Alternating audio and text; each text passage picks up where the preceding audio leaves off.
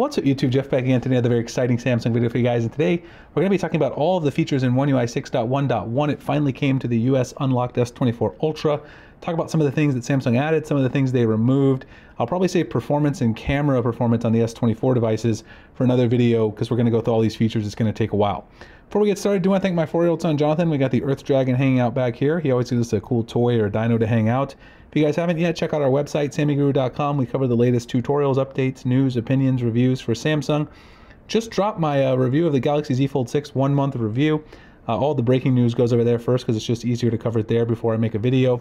Also, if you're in the US, you get in our mystery box program, get a free case, cleaning kit, desktop phone stand for your Galaxy phone. If you order the S24, uh, S25 Ultra or any other S25 device, put in your email, phone number, or both, and you can sign up right there. All you got to do is use our affiliate link when you purchase in January. We cover all the shipping costs, everything like that. The link will be in the pinned comment and description. So first thing I want to talk about is auto blocker.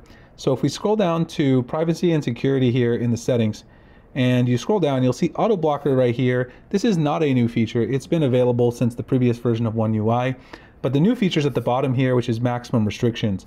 Auto blocker is probably overkill if you're a power user because it does block the ability to sideload third-party APKs. I usually turn it off, but if you're an average user, you might want to leave it on because it does give you some nice protections. Maximum restriction takes it even further uh, and turns on app protection, blocks device admin apps, and most importantly, blocks hyperlink and previews and removes all location data when sharing pictures. Now that's definitely a good idea, but you can do it on an image by image basis. If you turn this on, it's going to remove it from all of them, but it's also going to remove your ability to see hyperlinks and previews uh, and also block shared albums and galleries. So just be aware, if you turn this on, you are going to lose some features. I personally will be leaving this feature off. Now the next one is image clipping. So if we go into the gallery, uh, you'll notice here inside the gallery, I have a photo. You should be now able to clip individual subjects in an image. Previously, it would either clip just one or it would click both at the same time. Uh, you should be able to clip individual subjects like you press and hold. I can get these two for press and hold over here. I can get her. Uh, one thing I have noticed though is it's supposed to allow any individual. So this picture has three individuals. I should be able to clip this guy or my son out. He's getting knighted here at the Great Wolf Lodge ceremony on our vacation this summer. I should be able to just clip my son. It doesn't allow you to do that if they're too close together. So Samsung says you should, but it doesn't work perfectly in practice.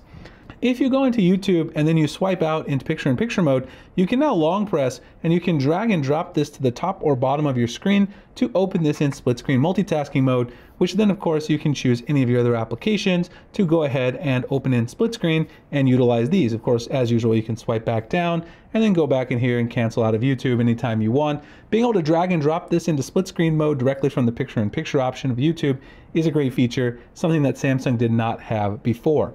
Now the next feature is something that Samsung says should work. I've had some issues getting it to work. If you go into My Files and you go into your internal storage, you're supposed to be able to drag and drop folders now directly onto the home screen. Uh, and I've tried this with some various folders. So if you long press and keep long pressing, you're supposed to be able to go home with the other finger and just drop this here. I keep getting error messages saying that it's not working. I've seen other people do this and it works great.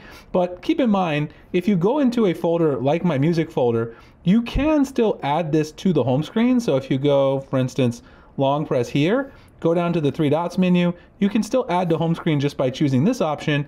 And this works fine for me. This is absolutely fine. I'm not actually sure why it's not working with the drag and drop. I've seen other people do it flawlessly, just not working for me, but that is supposed to be a new feature. I'll keep trying to figure out why it's not working. Let me know if you guys have any suggestions.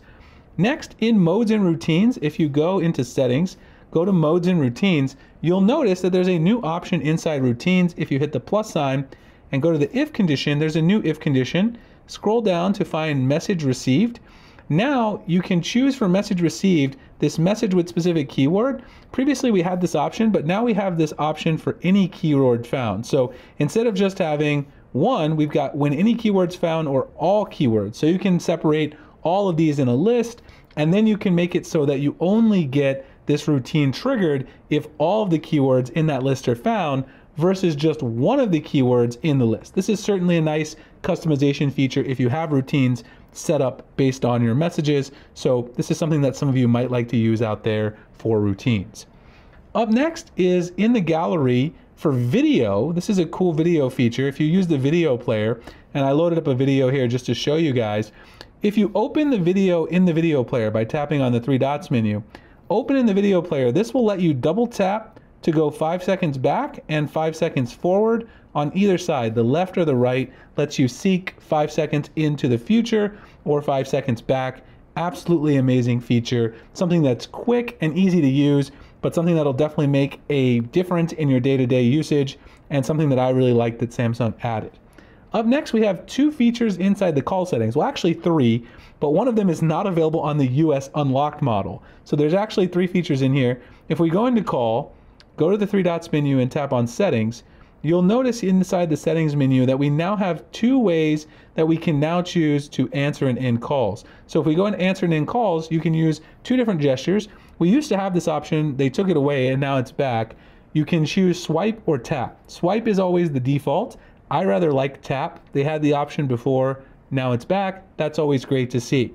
The other option is you can now choose to answer the call with just the speakerphone. I don't know why I went outside of here because the option's right below the option I was just showing you. Answer using speaker by default when there's no headset or Bluetooth device connected. So if you don't have a Bluetooth device like a speaker or headphones, it's automatically going to answer using the speakerphone on your Galaxy device. I think that's a fantastic feature. I tend to use speakerphone quite a lot, particularly when I'm at the office and I'm trying to do other things. Working, it just makes it easier to do that at the end of the day. The next thing is custom profile cards, also in the phone app. Again, I don't know why I left. If you go to the contacts and tap on your own contact card, inside here at the top, you'll see create profile card. There you can choose a photo for yourself or if you like, you can take one up here using the camera. I'll actually do that now, just take a quick photo of myself from behind the camera. Of course, I have the countdown on, so it's going to do that. This is probably not going to be my long-term photo here, but there's a photo of me. And now we can use this to create our profile card. So if you tap OK, you can then play around with this a little bit. You can do text, effects, but you also have the option to use the new Portrait Studio feature inside of One UI 6.1.1, cartoon, watercolor, or sketch, or comic, and then that will generate a comic representation of you that will then go on your profile card. It's really a cool feature. It's going to show up to other Galaxy users. Of course, this isn't going to show up to everyone that you interact or call, but if you have other Galaxy users, I have a lot of, obviously my whole family kind of uses Galaxy devices. Give me a little more facial hair than I have there. Hey, I haven't, since this picture right here. Anyway, if I choose that one, let's say it puts my name there at the top, and you can change the text and things like that. You can obviously change the color. You know, this color obviously isn't very readable you have the entire color palette you can kind of change, get it to show up there, and then there is by profile card inside of the Contacts app. Up next, if we go back to the gallery, we have another feature which is live effect. So if you have a photo, like again, this one of my son from our vacation this summer, if you swipe up, you'll notice there's a couple tiles here. One of them says live effect. If you tap on that, it's going to add a live effect, which is basically uh, kind of a motion photo where it's kind of like a cinematography kind of effect that's applied. You see how it's kind of panning in or around the subjects. And you have the option to either share this or you can save a copy. Of course, it's not going to save over your original image. You'll still have the original image as well. But then you'll also have that in the gallery. You can do whatever you want with it, share it later, uh, etc. You can even set it as a live wallpaper uh, or a wallpaper on your lock screen if you're interested. And if you are in an album, it'll go ahead and save it right there in the album for you. As you can see that it's done in my One UI 6.1.1 album here. The next thing I want to talk about is translate in listening mode inside the interpreter. So if we go up here in my quick settings, I have the interpreter up here. If you turn on listening mode, which is over here, we used to have conversation mode. Listening mode is new. As soon as you hit this button, it's automatically going to translate from one language to another. So I'm gonna go English to Spanish. We'll go ahead and hit the button right there, and it's going to start translating automatically in real time. That's what I really like about it is this is fast, quick, and efficient, and you get little blurbs in real time as it translates. And as you can see, the text recognition, even though I'm speaking relatively fast, as many of you have told me in previous videos, it does a very good job of keeping up at the end of the day. Once you're done, you can tap the mic off and then you'll have your translation right there. You can see up here, actually will show you your history so you can go back and scroll through.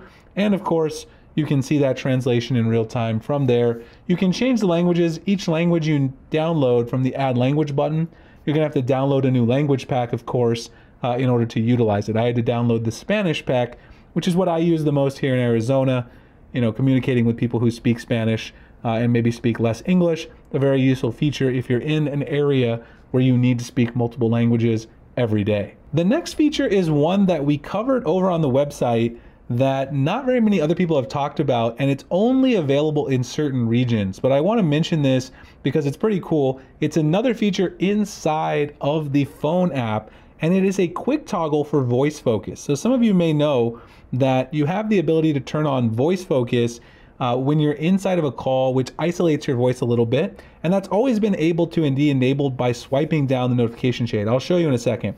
But there's a new quick toggle, and here it is. Um, Sumit, who's our full-time writer, if you look here at the top, you'll see the little quick toggle right there. He took some screenshots on his S24 Ultra. He's in India, but this is not available in the US. You have to swipe down and enable it from the drop-down menu. So I'll actually show you here. Let me go back. Let me call UPS customer service. I always like to call them when I need a test call. You see right here, if you swipe down the notification shade, once you're in the call, and of course I minimized my piece there, you've got mic mode, voice focus versus standard. I always have it on voice focus kind of as my default because it's usually the best. Um, but there is no quick toggle that pops up here in the US. You got call assist, but no voice focus quick toggle like he has here. So this appears to be rolling out to certain models around the globe, but unfortunately not in the US unlocked model. It'd be really nice to see this feature because I think it's really nice. It's, it's kind of unfortunate uh, if you forget about voice focus, you don't have it on by default, to remember to swipe down the notification shade. It's a couple extra swipes, takes a couple extra seconds, but more than that, people probably forget about it and so they end up not using it.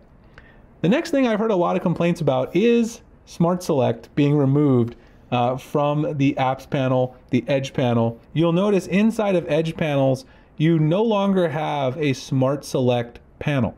So you can see here, if you go into settings, there used to be a Smart Select panel that you could have in here, but what you will notice is you have the option inside of edge panels now to enable the Galaxy AI version of Smart Select, uh, as well as sketch to image. Both of those are there. So up here, you'll notice if you swipe out, this is sketch to image. This is in fact the Galaxy AI uh, version of Smart Select. Down here with the little settings, you can actually change this. You can turn on touch and hold or tap to open split screen view. And you can turn off sketch to image in Smart Select if you want. Now this is actually better because if you tap on this, you get the cool animation for one thing, it shows you what's happening, but then you can also go ahead and just tap on anything and it will select intelligently what it is you want to do. Now you can image saved, obviously is one thing you can do. If we go back here and go to Smart Select again, you still can kind of circle something on your own and it will intelligently try to figure out what you want to do. Really cool thing is not only can you download, share, and kind of copy this. You can also pin to your screen so you can move this around. And you can even, as you guys saw there, you can utilize sketch to image with this feature as well. So if I circle this like it's a picture of the moon, whatever on this wallpaper, I can go ahead and enable sketch to image and it will enable me to turn this into you know whatever I want. Like I could draw, you know, like another object. Maybe I could draw the sun here so it looks like the sun and the moon are close together. Whatever you want. You can add things to the clips that you get from Smart Select. So this still works inside apps like Instagram, places like that. That's where I typically use Smart Select the most. I will say, depending on what you draw, it can do a pretty good job. You see here it actually has the sun back there, and then I could save that, and obviously I could tweak it a little bit further if I'm interested. So Smart Select is still there. It'll still work. You can still access it here from the uh, Edge panel, but it's just not an option, specific Edge panel option. It's actually better though because it's Galaxy AI enhanced. A couple of other things that I wanted to mention. One thing is you now have the option inside of the Samsung Calendar application to do highlighting. You can do highlighting within one like individual event on your calendar. You can see here if I choose the highlighter from the bottom here, you'll notice that now I can just highlight like some single things on my calendar that I want to remember, like these are important events. The highlighter can be not fully transparent, so you might want to reduce some of the transparency in here before using it. But it is a really cool feature. Of course, you've been able to use the S Pen to write on individual events uh, for quite some time now. but you can now do that with the highlighter as well. A PDF now inside of the Notes app, it will allow you to actually get a summary here. So if you tap at the bottom, you can see that you get this awesome summary or translation. This is a menu for Cafe Zupas, so it can go ahead and read this and it will summarize all of the information here and it tells you exactly what it has. You can copy, add to wherever you want, etc. Up here, you can get a more detailed summary if it doesn't give you enough detail about that particular document, and you can get more information about the particular important items that are on the menu here. So this is another really useful feature that I found that I use over and over again inside of Galaxy AI. So of course we've talked about a lot of the important features. I've talked about mainly the ones that I use the most, also some of the hidden ones that at the end of the day you probably haven't seen called out. Of all the other features, you do have Call Assist, which gives you translation in calls, uh, Chat Assist, which will allow you to compose and get style and grammar edits uh, inside of your Samsung keyboard. We talked about Interpreter, Note Assist, Transcript, um, Browsing Assist gives you summaries of web pages as well. This is only really if you use the Samsung Internet Browser though. So if you use Chrome, then that's not going to work. We talked about Sketch to Image, talked about Photo Assist as well with the Portrait Studio inside of creating your own contact card. You've got the Photo Ambient Wallpaper, which will allow you if you want. It's not a feature I use a lot because here in Phoenix it's always sunny. There's no rain or snow or anything interesting to show up. But you can turn this on uh, inside Wallpaper and Style. So if you go into Settings, if you go to Wallpaper and Style and you go to change wallpapers, the photo ambience right there, but you really need to have a specific uh, wallpaper that is of an outside landscape and also to want it to change with the weather in your particular region need to have some interesting weather to make it interesting it's a feature that they introduced that i haven't used a ton but maybe some of you guys will use it a little bit more anyway those are mainly the one ui 6.1.1 features i found it's a shame they removed smart select but the galaxy ai version of smart select uh, is even better so even though it's not officially an edge panel you can now get the new version that's revamped and pinned there let me know how you guys are enjoying One UI 6.1.1 in the comment section below. Any questions, comments, concerns, make sure you again sign up over on our website, sammyguru.com. Sign up for the mystery box program if you're going to order the Galaxy S25 Ultra. Get free accessories for that. Appreciate you guys checking it out, and I'll see you in the next one. Thanks a lot for watching.